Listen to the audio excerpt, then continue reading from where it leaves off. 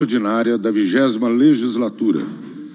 A presidência registra a presença das deputadas André de Jesus, Bela Gonçalves, dos deputados Betão, Caporeso e com a presença também da deputada Beatriz Cerqueira e de forma remota o deputado Bruno Engler. A presidência informa que não há ata a ser lida por se tratar da primeira reunião desta comissão nesta sessão legislativa. Esta reunião se destina a eleger o presidente e o vice-presidente, ou a presidenta né, e a vice-presidenta. Registram-se as candidaturas das deputadas Andréia de Jesus e do deputado Caporezzo para presidente e da deputada Bela Gonçalves para vice-presidente. A presidência submeterá as candidaturas à votação pelo processo nominal em conformidade com o artigo 259, combinado com o inciso 6 do artigo 9 do Regimento Interno será eleito o candidato ou a candidata a presidente que obtiver o voto da maioria dos membros da comissão e o, e o candidato a vice-presidente que obtiver o maior número de votos dos presentes. A presidência vai dar início ao processo de votação para o cargo de presidente. Em votação, a candidatura da deputada André de Jesus para o cargo de presidente. Como vota a deputada Bela Gonçalves? Com certeza eu voto na Andréa de Jesus para presidenta da comissão. Obrigado. Como vota a deputada André de Jesus? Voto sim à presidência da deputada André de Jesus. Como vota o deputado Caporezzo? Voto não. Como vota o deputado Bruno Engler? Voto não, senhor presidente. Deputado Betão vota sim. Em votação, a candidatura do deputado Caporezzo para o cargo de presidente. Como vota a deputada Bela Gonçalves? Voto não. Como vota a deputada André de Jesus? Voto não. Como vota o deputado Caporezzo. Voto sim. Como voto, o deputado Bruno Engler. Voto sim. Deputado Betão, vota não.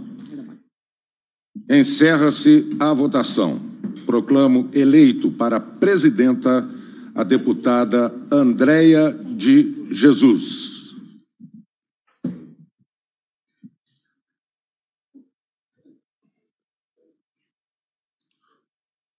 O presidente realizará o segundo. Um minuto, por favor. Presidente. Desculpa, gente. Em votação, a candidatura de vice-presidente para o cargo né, de vice-presidente, é inscrita a deputada Bela Gonçalves. Como vota a deputada Bela Gonçalves? Voto sim, é, vice-presidência Bela Gonçalves. Como vota a deputada André de Jesus? Voto sim à vice-presidenta, a deputada Bela Gonçalves. Como vota o deputado Caporezzo? Voto em branco. Como vota o deputado Bruno Engler? Também voto em branco, senhor presidente. Deputado Betão vota sim. Encerra-se a votação. Proclamo eleito para vice-presidente a deputada Bela Gonçalves.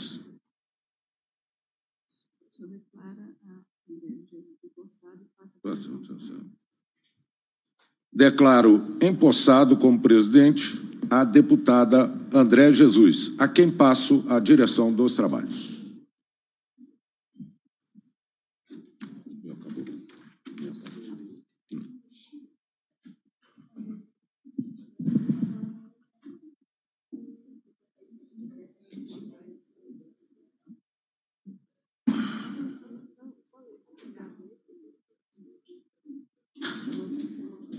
Eu tenho que empossar ela primeiro.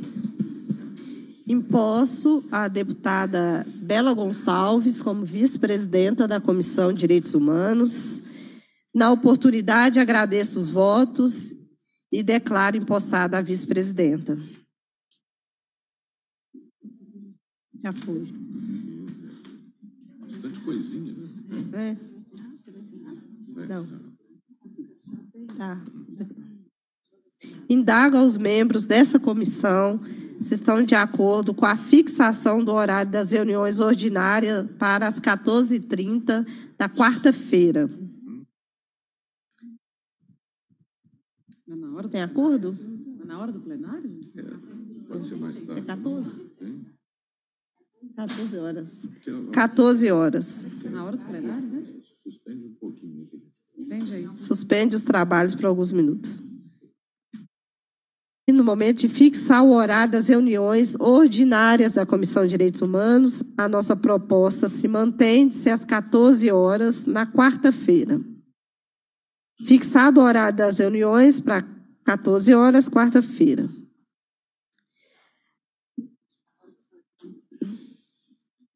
É, eu vou fazer uma eu quero trazer algumas considerações. Meu microfone está aberto. Se algum deputado quiser fazer suas considerações. Deputada. A Escreve. palavra, a deputada Beatriz Cerqueira. Primeiro, presidenta, cumprimentá-la pela reeleição à frente da Comissão de Direitos Humanos. Acompanhei o trabalho de Vossa Excelência na legislatura passada e sei da importância estratégica para Minas Gerais de ter uma comissão de direitos humanos que cumpra a sua função eh, conforme o regimento interno na casa. Então, parabenizá-la. né? E acredito que nos próximos dois anos, então, Minas Gerais estará bem servida eh, no debate da questão de direitos humanos com Vossa Excelência na presidência. Quero cumprimentar a vereadora Bela, vereadora Bela, que era vereadora até 31 de janeiro de 2023. E é exatamente, eu queria começar dizendo de que a conheço do trabalho parlamentar na Câmara Municipal, eh, e por isso sei que a sua vice-presidência nessa comissão, ela será também de uma importância estratégica. Então, parabenizá-la pela vice-presidência, agora como deputada estadual. Cumprimentar o Betão, eh, que é membro efetivo né, aqui da, da comissão, que também na legislatura passada cumpriu um importante papel. Eu pedi a palavra, presidenta, para conversar não conosco, não com, eh, com os deputados, mas com quem acompanha os trabalhos da Assembleia. Eh, porque eu queria explicar como é que foi a dinâmica das comissões. Evidente da definição das comissões. Evidente que qualquer parlamentar tem o direito de se candidatar ao que quiser. É a prerrogativa do parlamentar. Mas quando nós organizamos eh, as comissões, ela é feita pra- a partir de um grande acordo entre todos os blocos. Então, todos os blocos parlamentares, os três, concordaram, referendaram André de Jesus como presidenta dessa comissão. Assim como todos os blocos parlamentares também concordaram com a deputada Bela Gonçalves como vice-presidenta. Eu quero esclarecer isso porque a gente faz um processo muito intenso. O mês de fevereiro foi dedicado a isso. Os nossos líderes de bloco sentaram, conversaram muito e organizaram as- a, composição das comissões e evidentemente essa composição ela também já trouxe na sua na sua composição a presidência e a vice-presidência. Então a presidência da deputada Andréia de Jesus defendida pelo nosso bloco é uma presidência concordada por todos os blocos parlamentares, não é? É, e a gente, quando vem nas comissões, eu ontem participei da comissão que eu sou efetiva de administração pública, votei no deputado João Magalhães como presidente, porque essa foi a construção de todos os blocos parlamentares. Então, eu quero, eu quero, é, eu pedi a palavra para explicar isso, porque às vezes as- as- alguns colegas não entendem a dinâmica da casa é, e vamos fazendo por marcação de posição. É, mas as comissões, a sua constituição, a sua presidência e vice-presidência, gente, já está pactuada com os nossos blocos. E quando a gente vem como membro efetivo a cada comissão, a gente cumpre o combinado. A gente cumpre aquilo que foi pactuado pelos nossos blocos, porque é isso que garante que todas as comissões funcionem, que todas as pautas, agendas, lutas, antilutas sejam feitas na casa, que é o lugar da pluralidade da diversidade, de 77 representações. E aqui na Assembleia, nós vamos aprendendo isso aos poucos, a que a gente cumpre combinados. A gente cumpre o que está pactuado, porque aquilo que está pactuado, quando a gente não, não cumpre, perde uma referência é, de de respeito ao que está construído pelos nossos blocos parlamentares, pelos nossos líderes. Então, eu queria, como eu acho que as pessoas sempre têm o direito de ter acesso a todas as informações, e a partir do acesso às informações, elas organizam a sua opinião, é, eu queria compartilhar com todo mundo é, a dinâmica de organização das comissões. Né? A dinâmica da comissão não é definida no palitinho. É um processo que a gente constrói e que a gente garante que todos os pensamentos, dos mais progressistas aos menos progressistas, estarão expressos nas, nas comissões, estarão presidindo comissões. Aqui todas as todas as, as visões de mundo compõem e presidem comissões. Então, eu, eu queria dizer que a marcação de posição de voto em branco, de voto não na deputada Andréa de Jesus, é, não explicita, aliás, fere um compromisso pactuado pelos blocos parlamentares. É uma deselegância, para ficar numa palavra gentil, que eu acordei hoje com muita gentileza. É, é, aliás, a gentileza é própria de mulheres é, professoras. É, eu queria então dizer isso, né, que ao longo do tempo a gente vai aprendendo isso, que o que é combinado é cumprido. Porque se não é feito isso, a gente vive de bolada nas costas, e isso não é a característica da Assembleia Legislativa de Minas Gerais. Então, quero parabenizá-la, desejar um bom trabalho a essa comissão. Eu sou membro suplente dessa comissão, mas sabem que podem contar com o meu trabalho parlamentar. E vida longa a essa maravilhosa Comissão de Direitos Humanos da Assembleia Legislativa, cuja presidência e vice-presidência teve a concordância dos três blocos parlamentares, porque foi uma construção, e nas construções a gente respeita as construções que são feitas com toda a diversidade que é o parlamento. Obrigada, presidenta. Obrigada.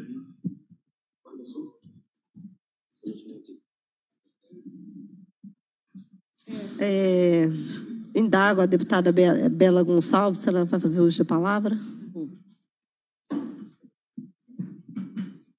Um bom dia a todas as pessoas, bom dia à assessoria aqui da comissão, a quem está nos acompanhando, a TV Assembleia, bom dia aos movimentos sociais que acompanham essa luta e bom dia aos deputados e deputadas é, que estão aqui presentes é, nessa, nessa reunião.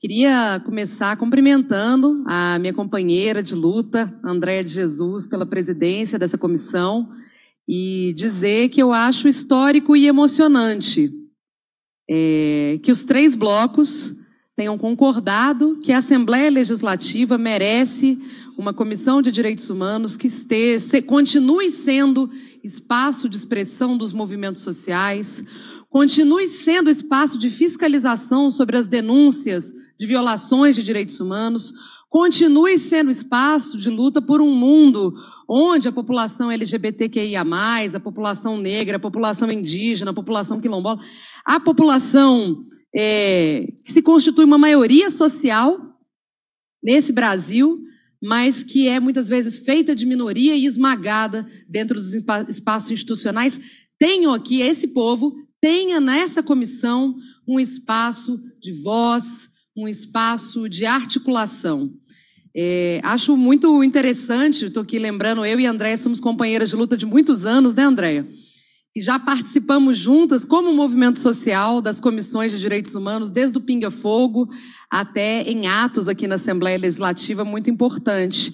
E aí, é, mesmo contando, mesmo né, com essa postura que eu também considero deselegante, é, Beatriz, dos, dos, dois deputados que votaram ou em branco ou votarem não, a Comissão de Direitos Humanos da Assembleia Legislativa vai ser presidida por uma mulher preta e vai ser presidida por uma mulher lésbica.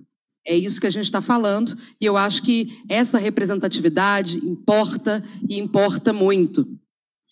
A Comissão de Direitos Humanos ela vai ter o desafio de continuar construindo um trabalho primoroso de luta por uma segurança pública cidadã, olhar para o crescimento da população em situação de rua no nosso estado e enfrentar essa, esse crescimento com políticas públicas, ser espaço de expressão das lutas sociais, ser espaço de expressão da diversidade e da democracia.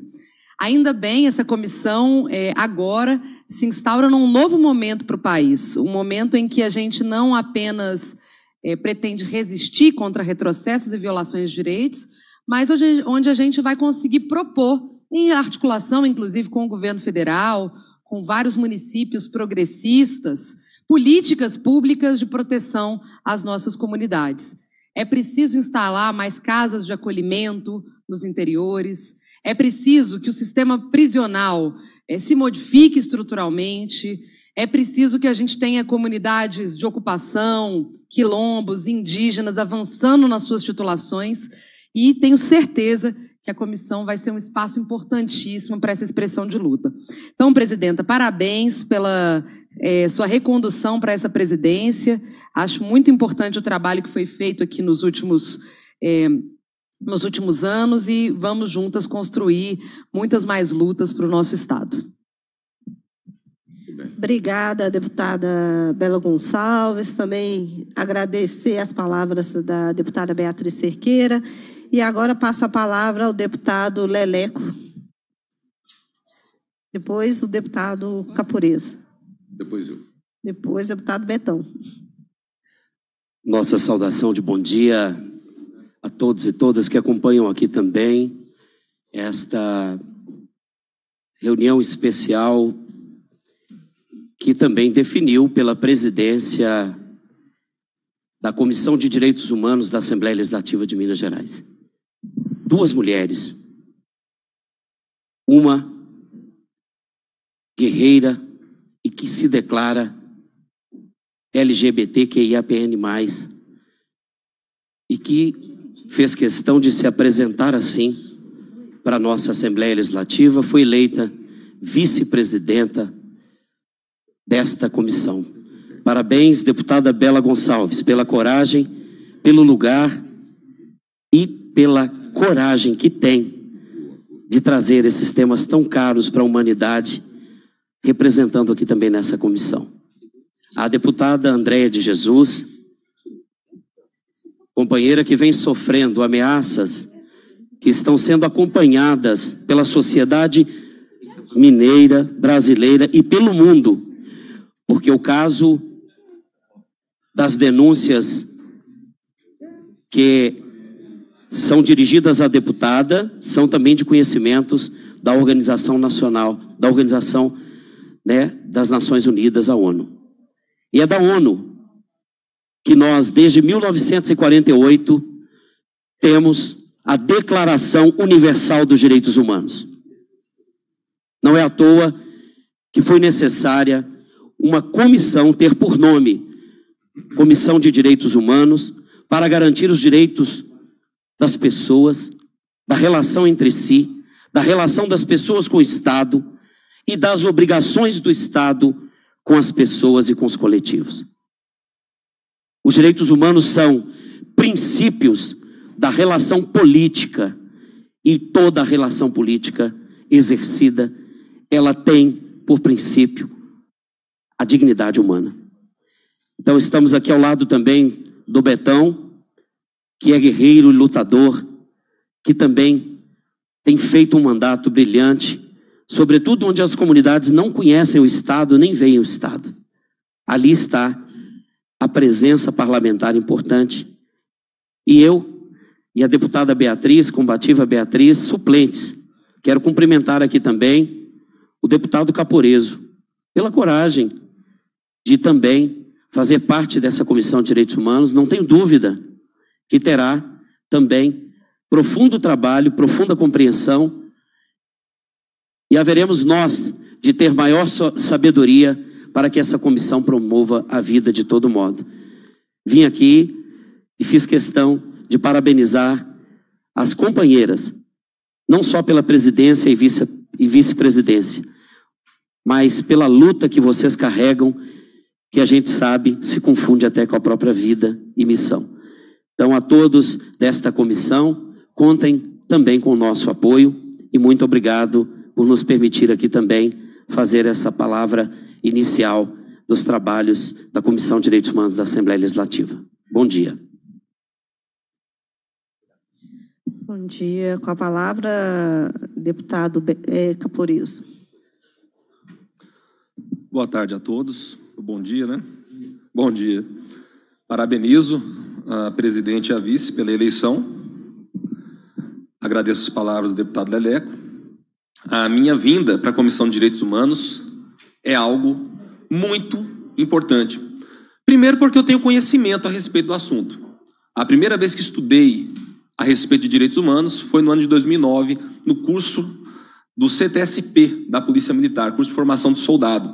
Lá fui apresentado a disciplina de direitos humanos. Depois, na minha faculdade de direito, também, né, eu sou graduado em direito, aprendi muito a respeito de direitos humanos e acho importante resgatar aqui a origem dos direitos humanos, que começou lá na Idade Média com o pensamento de Santo Tomás de Aquino. E naquela época atendia pelo nome de direito natural da pessoa humana. De lá para cá, nós passamos por grandes momentos importantes, como a Bill of Rights britânica e a Revolução Francesa. E mais recentemente, como falou aqui o deputado que me antecedeu, nós tivemos a Declaração dos Direitos Humanos pós Segunda Guerra Mundial. Então, a minha presença aqui não é para atacar nenhum grupo em específico, mas para garantir que nenhum grupo em específico se sobreponha aos demais quando fala em eh, igualdade de direitos. E, na prática, muitos falam em igualdades de direitos apenas para defender a proliferação de privilégios. E isso não pode acontecer. Que bom! Que bom! Eu falo com sinceridade aqui que nós temos uma mulher negra que está assumindo essa posição. E eu quero falar para você que está me ouvindo, que é homem branco, cristão e hétero, que eu vou representá-los. Como vou representar também os meus amigos negros, que são muitos, e todas as pessoas, porque direitos humanos é para o que a gente tem de mais essencial, que não é a cor da nossa pele, não é o, o preto, o branco, o amarelo ou o vermelho, mas sim o vermelho do nosso sangue, que é o mesmo. Então podem ter certeza, essa defesa da humanidade vai acontecer por minha parte. A defesa da família tradicional, a defesa irrestrita da vida em todas as suas formas, principalmente na forma intrauterina, merece ser defendida. A defesa da pureza de nossas crianças, que infelizmente tem sido muito aviltada recentemente por pessoas que acreditam que o Estado deve ter mais poder sobre as crianças do que papai e mamãe. Isso está errado. Então eu vou tomar uma postura categórica nesse sentido. E também falar que agora a Comissão de Direitos Humanos vai ter alguém que defende os direitos humanos para os humanos direitos, para o policial militar, para o policial civil, para os demais membros da segurança pública, principalmente para as vítimas da criminalidade em um país onde a violência, infelizmente, é enorme, que no final do governo Dilma Rousseff chegou a quase 70 mil homicídios por ano e que teve uma redução drástica. Por quê? Porque um direito sagrado e natural, direito humano, foi defendido pelo ex-presidente Jair Bolsonaro. Que direito é esse? O direito sagrado à legítima defesa. E a legítima defesa só pode ser exercida de maneira eficaz através da utilização das armas de fogo. Então, com certeza, podem contar com a minha voz na defesa de todas essas pautas e que Deus abençoe os nossos trabalhos que aqui serão realizados. A direita vive em Minas Gerais. Obrigada, Caporeso. Agora com a palavra, deputado Betão. Obrigado, presidente. É, primeiro eu queria parabenizar tanto a deputada Andréa de Jesus e a deputada Bela Gonçalves, né, que assumem a presidência e a vice-presidência, respectivamente, e que poderão contar comigo aqui também como membro efetivo né, dessa comissão. Comissão também que participei na legislatura passada, como membro efetivo, depois como suplente, né, mas sempre antenado nas discussões que nós precisamos fazer é, nessa sociedade injusta né, que a gente vive. Uma sociedade desigual, uma sociedade que prevalece o, o explorador sobre os explorados. E, deputada Andréia, eu assumi agora na parte da manhã a presidência da Comissão de Trabalho, Previdência e Assistência Social, que, além de é, servir, né, servir como um ponto de apoio às lutas né, da, da, das mais diversas categorias de trabalhadores e trabalhadoras aqui no estado de Minas Gerais, nós vamos dar um, um foco é, grande no trabalho análogo à escravidão, que é uma que Minas Gerais desponta né, como um estado em que a escravidão ela, é, ela compõe né, esse espectro de desigualdade e que é uma aberração né, desse sistema apodrecido que é o sistema capitalista, né, que joga a humanidade à guerra e joga cada vez mais pessoas, bilhões e bilhões de pessoas, passando fome no mundo inteiro. Né? E o Brasil tem uma parcela grande de pessoas passando fome desde que Bolsonaro assumiu o governo. 33 né? milhões de pessoas na miséria absoluta, passando fome, e milhões de pessoas, mais de 100 milhões de pessoas, com insuficiência alimentar. E entre eles estão os escravizados, né, como nós assistimos a semana passada das vinícolas né, do Rio Grande do Sul, né, que eu acho que todo mundo já conhece essa história.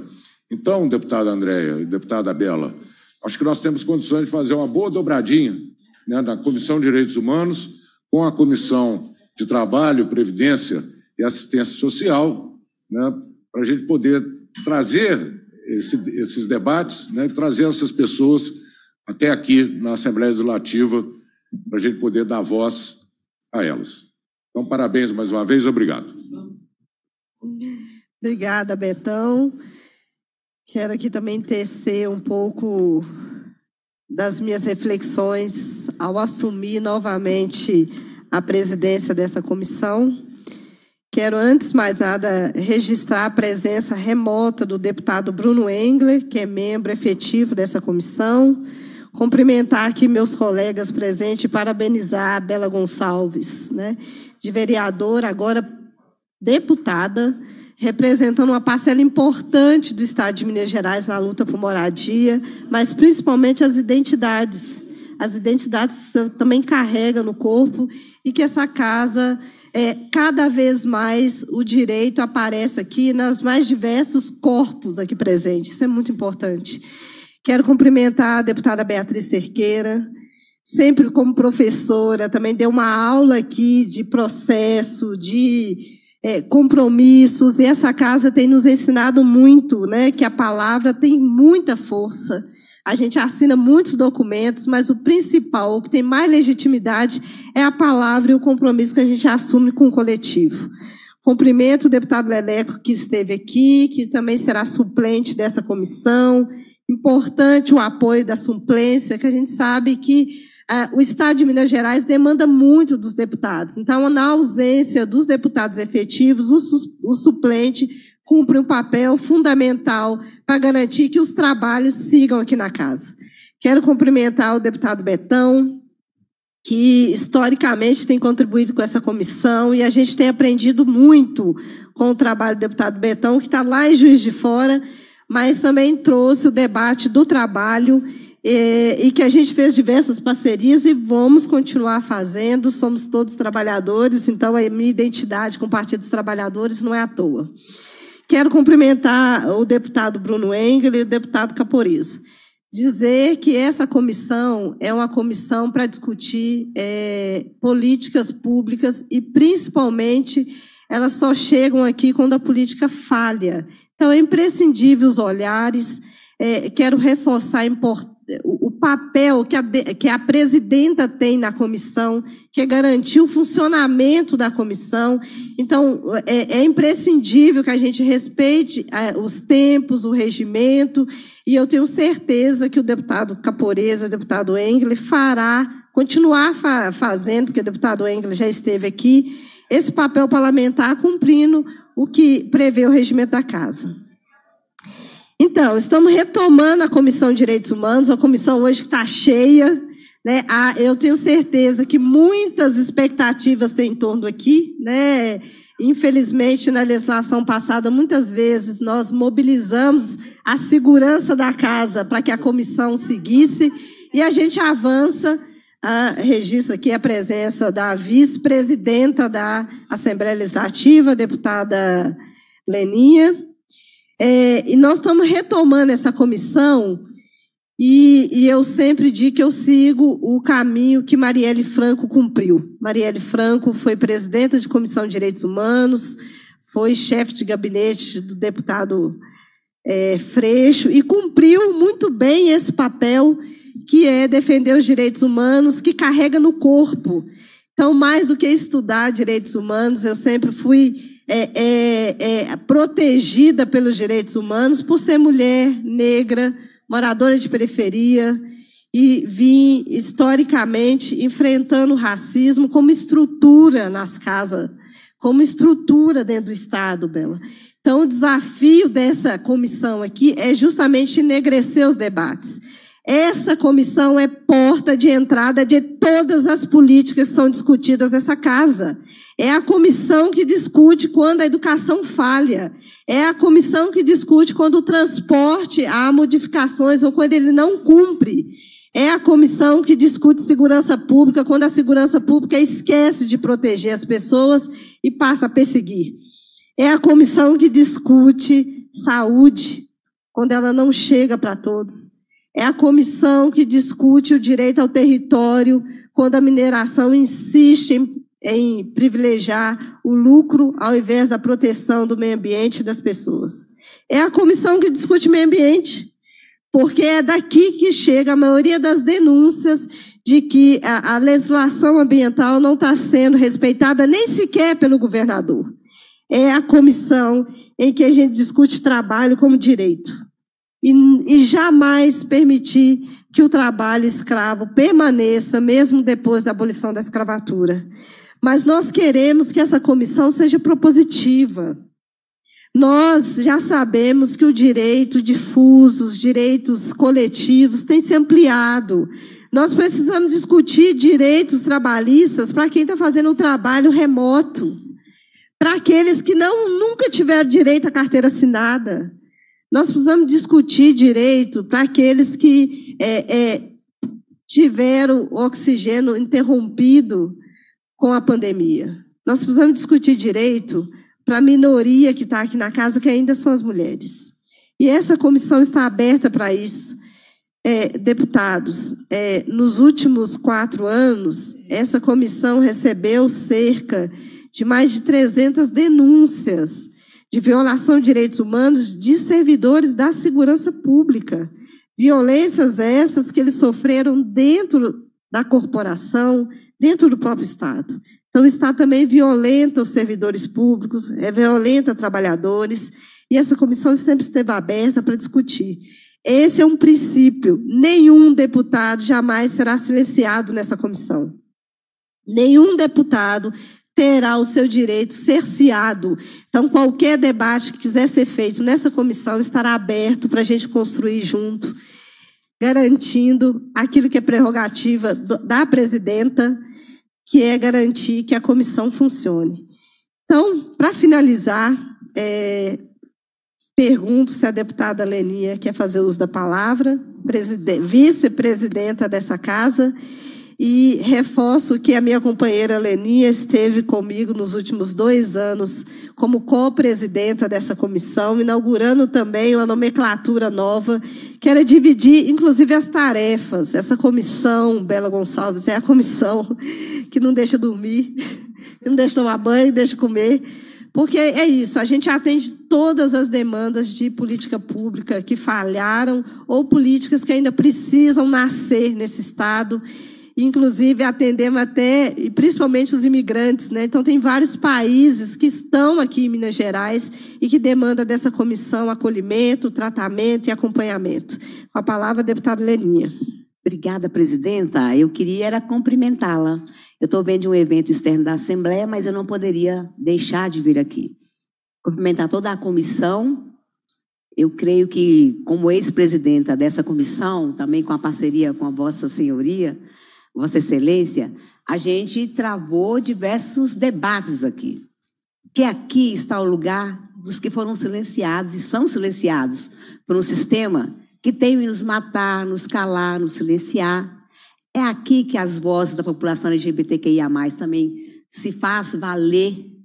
É aqui que todo e qualquer ser humano que tem seu direito violado encontra um lugar para fazer não só as denúncias, pedir de providências, mas acima de tudo mostrar para a sociedade mineira e brasileira que, infelizmente, somos nós, né, os corpos que são violentados cotidianamente pelo Estado ausente de política pública capaz de responder às nossas necessidades.